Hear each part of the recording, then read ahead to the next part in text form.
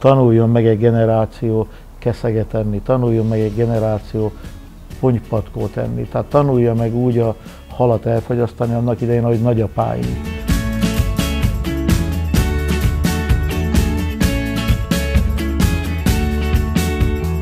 Szala Jánosnak hívnak, a Tiszacsegei Halászcsárának vagyok a vezetője, üzemeltetője. 2008. március 10-én nyitottunk, ez a tizedik szezonunk télen-nyáron nyitva vagyunk, tehát az év minden napján üzemelünk. A, a távolságról beszélünk Budapestről, nagyon sok olyan ember tudnák megnevezni, aki beül az autóba 11 órakor, lejön ebédel, a barátait megkérdezi, hogy visszacsegélőek a halászcsárdába, és a listával jön, hogy mit vigyen nekik vissza.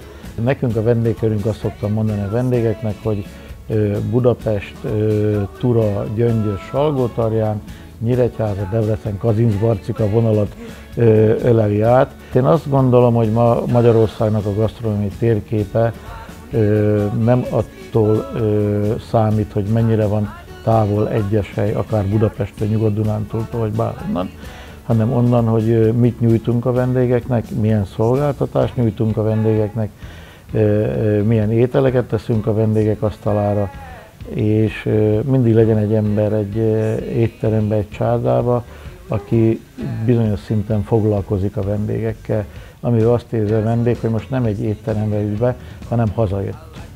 Hála jó Istennek, hogy vannak ma már olyan ö, cégek, akik nagyon jó minőségű árukat ö, tudnak ö, biztosítani a vendéglősek részére. Kinyílik egy ablak előttünk, mert olyan ö, áruválasztékot tudnak a rendelkezésünkre bocsátani, amivel azt mondom, hogy egy kis ö, hozzáadással, szakma szeretettel csodákat lehet működni. A halakat csak azoktól a cégektől szerezem be, akikről tudom, hogy olyan minőséget hoznak, és olyan alapanyagot biztosítanak, amelyek megfelelők. Amiket feldolgozunk és amik konyhába kerülnek, egy részét a matuzvattól szerzem be.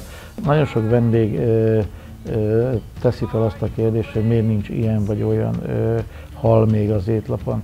Biztosan csak azt szoktam felelni, amint lesz a Tiszába, rögtön rá fogom tenni az étlapra.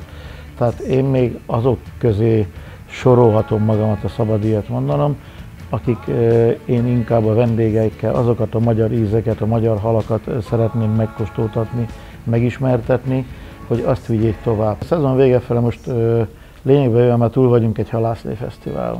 Hát erről csak mennyiségekbe biztos, hogy eladtunk a csárda meg úgy kint a sátor közösen ilyen 4000 adagnyi halászlét.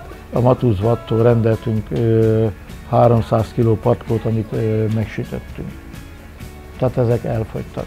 Harcsapaprikás főzőversenyt rendezünk szeptember másodikán, tavaly 100 csapat nevezett, ők főztek harcsapaprikást, idén is egy ilyen 100-120 indulóval várjuk. Mindig próbálunk valami olyat csinálni, vagy nyújtani a szezont,